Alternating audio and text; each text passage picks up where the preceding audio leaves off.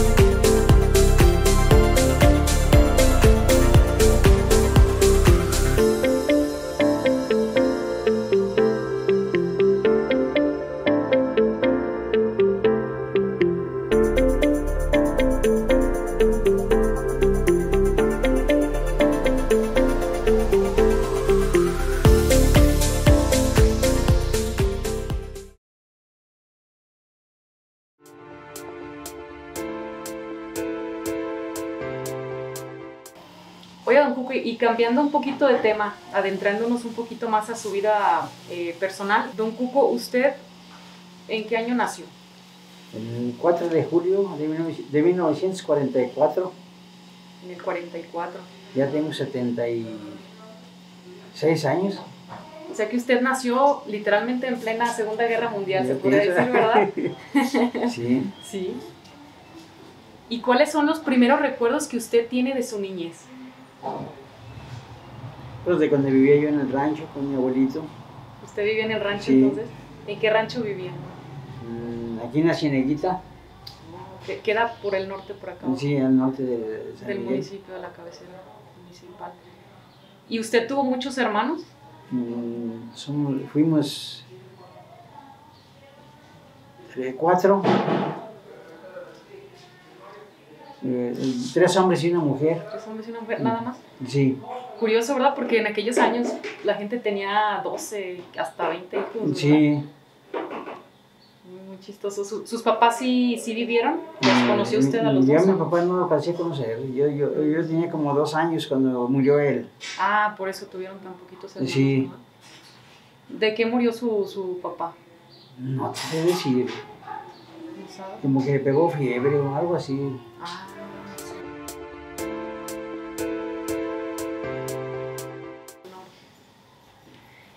¿Y usted sí estudió, don Cuco? Mm, Yo nomás estuve hasta tercer año. Tercer año, o sea que sí sabe leer y escribir. Sí, sí. Y don Cuco, ¿usted a qué recuerda que jugaba cuando estaba niño? Mm, Pues casi como con, con trompo o con a las canicas, con los mosaicos, que el nombre. Eran las canicas eh, pues, igual que las que están ahorita, Sí, ¿verdad? No ha cambiado nada. No, Y los trompos eran de madera, me de, imagino, made- ¿no? de madera, sí. De madera. Ahorita ya los hacen de plástico, o sea que hacen. Sí, de, de muchas cosas.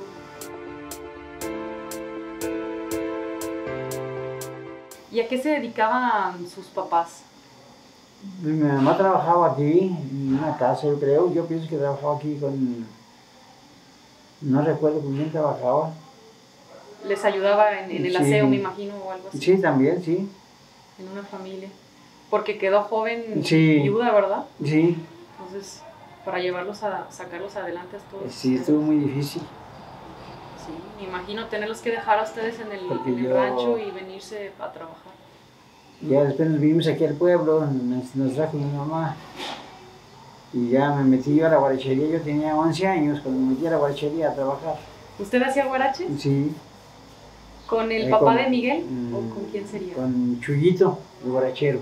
Y al lado no, no se ve. Al lado, la, más bien la, la guarachería esa que está bien ahí. Ya al último hacían zapatos también, Sí, pero como que la clausuraron, no sé qué pasó. a lo mejor. Por eso nunca me tocó conocerlo. Mm, Sí. Ahí tenía mucha gente trabajando.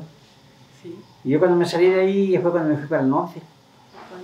Don Cuco, ¿y usted recuerda la primera vez que vio una televisión? Pues hace muchísimos años que tenían una televisión allá en la cantería. Mm, no sé cómo se llamaba, Eustacio, ¿qué era? Ahí me acuerdo yo que fuimos a ver una, una pelea de box. Ah, sí. Hace muchísimos años. Cincuenta y tantos años yo creo hace. Mucho tiempo. Porque antes la gente, pocas familias tenían televisión, No, era como de te invito a mi casa a ver Eh, la tele sí. porque muy poca gente, solo Ahí, los ahí nos cobraba más que 20 centavos por ir a verla. Ah, ¿les cobraban dinero? Eso no lo sabía. Eh, sí, es más que 20 centavos nos cobraban. 20 centavos.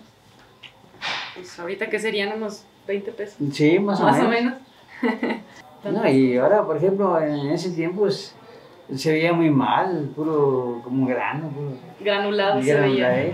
no se veía bien. Y eran unas Ya televisiones. como, ya como ahora, pues ahora qué, ahora ya está todo muy, muy moderno, Y a color sí, también. a colores. A también. color. Luego aparte se veía como una rayita, ¿no? Sí, que iba también, apareciendo. iba para arriba, con para arriba y así. Ajá. Y luego eran unas televisiones muy grandes, Muy ¿no? grandes. De hecho, la televisión, no sé si sepa usted, surgió como, como si fuera un mueble más. Entonces eran, eran muy caras porque eran Ah. muy grandes Sí, y aparte eran como de madera. Ya ve que las Sí. arreglaban muy bonitas las televisiones. Sí, sí, eran- sí, sí, sí, eran muy bonitas, de todos modos. Sí. Hacían un trabajo muy bueno. Y eran muebles, literalmente. Sí. eran muebles.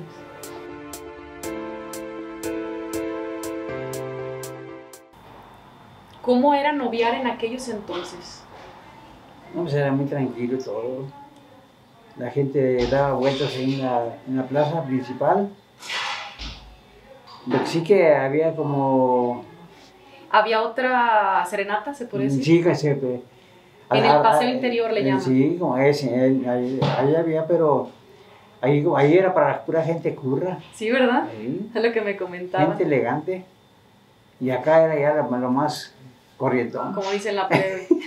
la plebe. Sí, de hecho, sí, ahí en esa parte donde está el kiosco, Sí, decían que pura gente con sombrero, Ah, pura sí. catrino, pura, Ah, sí. pura damisela. así era. Y decían, me comentaban que los policías no te dejaban entrar. ¿Sí es cierto eso? De que si usted no iba bien, como dicen, bien prendidito, no lo dejaban entrar. No, yo nunca llegué ¿Nunca le tocó ver no. eso? O sea, era nada más como, como había una barrera simplemente psicológica, no era de Sí, te, no, no, no. te- te lo impidieran. No, no. No había impedimento. Yo pienso que no, nunca vi yo eso.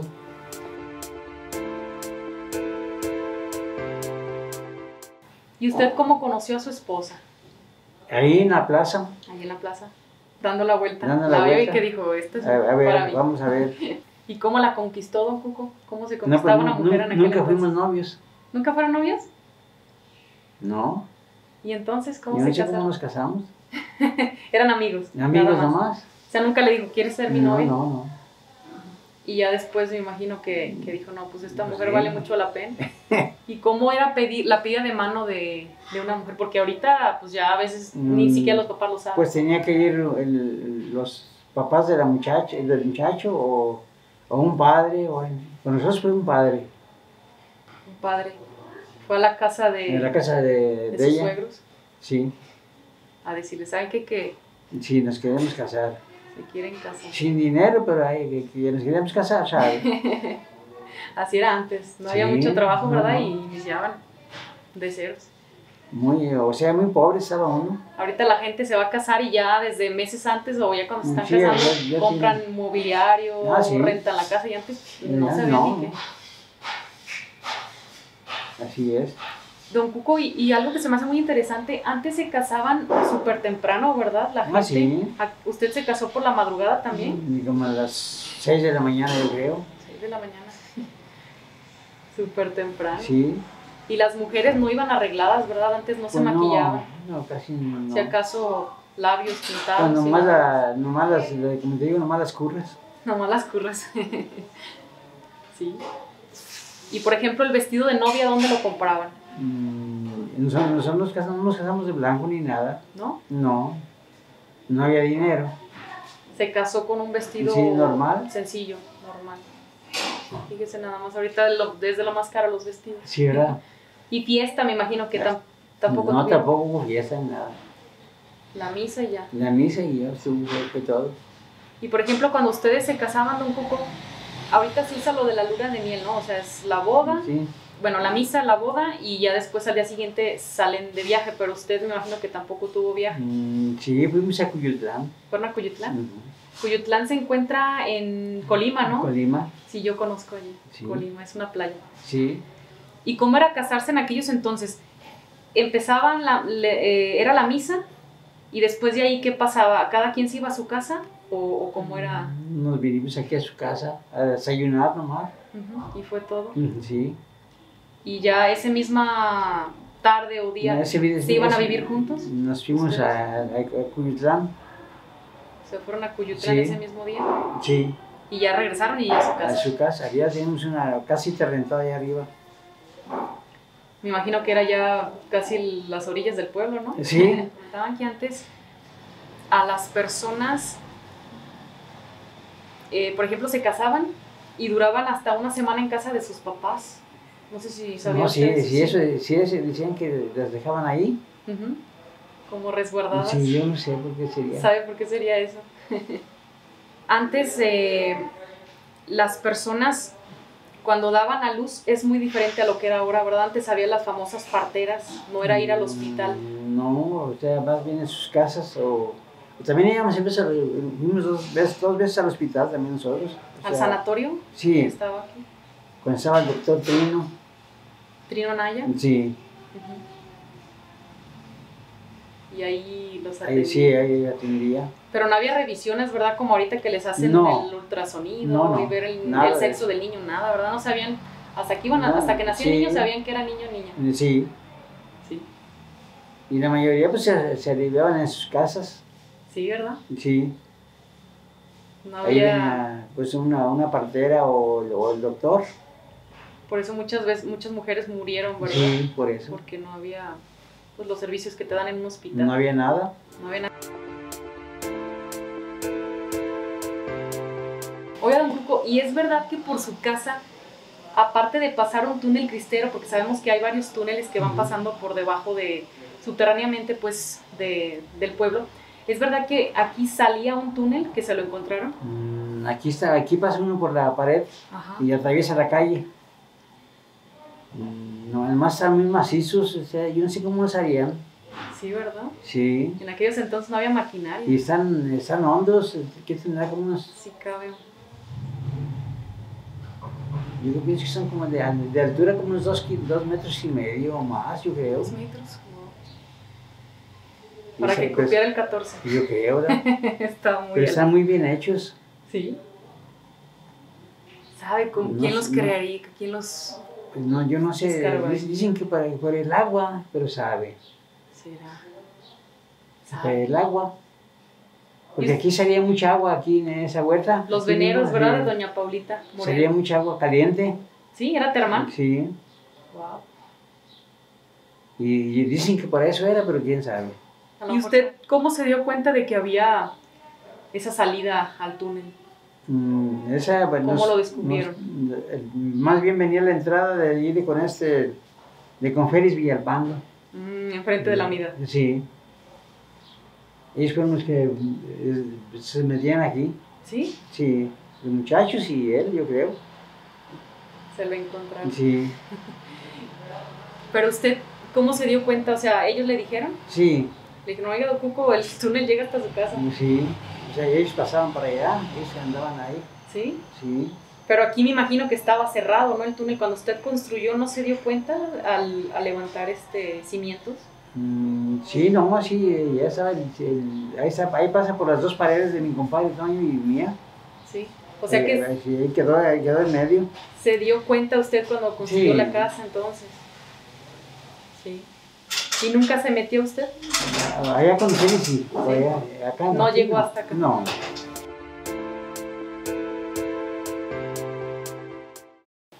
Don Cuco, volviendo a- al tema de, de su vida personal. ¿Usted qué nota que ha cambiado para bien San Miguel? Que usted diga, es mejor la vida que antes. Mm, Bueno, es que como, como antes no había nada de trabajo, an- antes estaba muy, o sea, no, se- no se sacaba dinero de nada. Ahora además ya empezaron, empezaron, a, empezaron a poner fábricas y eso ya, ya surgió la, la, la gente más, hay más movimiento.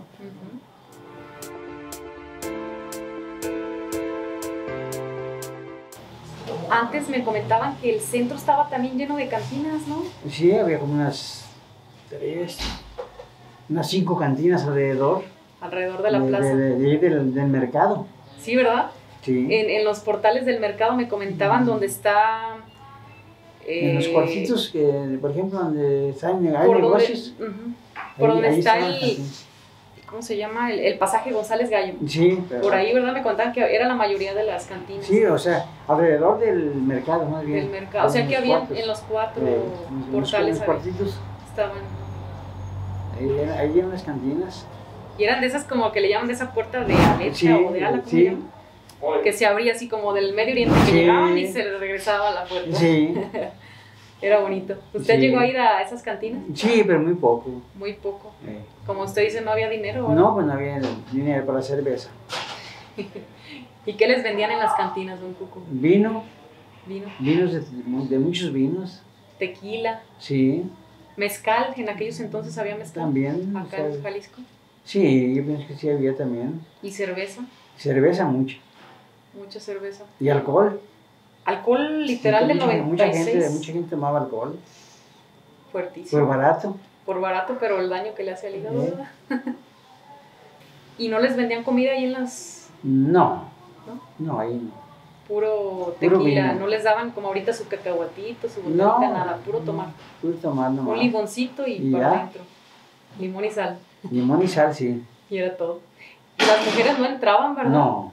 No podía No. ingresar una mujer a una cantina, era mal visto. ¿verdad? Y ahora sí, ¿Algún consejo que le quiera dar a los jóvenes? pues nomás que se porten bien, que no anden, anden en la, a deshora de la noche, ¿verdad?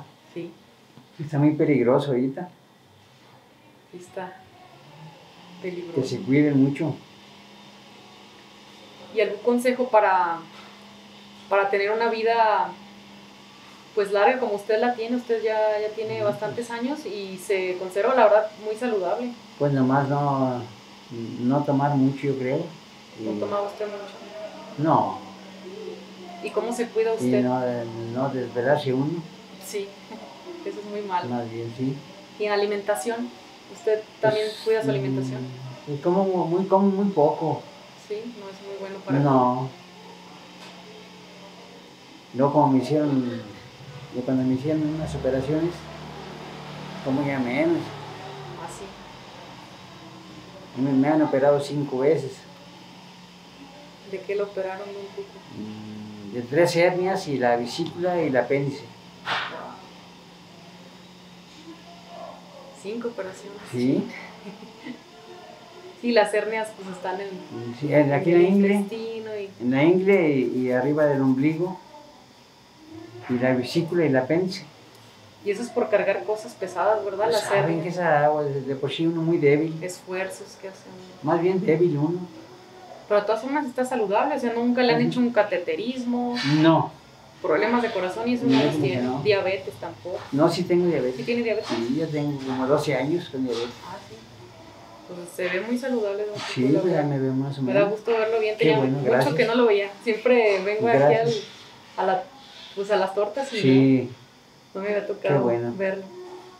Pues, don Cuco, ha sido un placer platicar con usted. No sé si quiera mandar algún saludo. ¿qué más puedo decir de nada? Que, que estén muy bien, que, que sigan cuidando de la pandemia, Ujú, porque está muy peligroso. eso sí. Sí. Ya Ahí estamos, Sí, aquí todavía, continuamos. dando lata. Pues bueno amigos, espero que les haya gustado esta entrevista aquí con Don Cuco. Yo soy Ivette Hernández y si te gustó este video, no olvides darle like, compartirlo, etiquetar a las personas que se encuentran fuera de aquí de San Miguel para que este video llegue a, a más y más. Y también lo puedes compartir en los grupos de WhatsApp para que vayamos creciendo en, en esta página que se llama Soy de San Miguel el Alto. Pues bueno, Don Cuco, un placer Muchas estar con usted nuevamente y pues esperamos tenerlo muchísimos más años Bueno, así de saludable y- ojalá. y, con esa buena actitud que, Sí, que es lo que yo he notado que la gente que tiene buena actitud es la gente que dura más tiempo, ¿verdad? Bueno. Del positivo.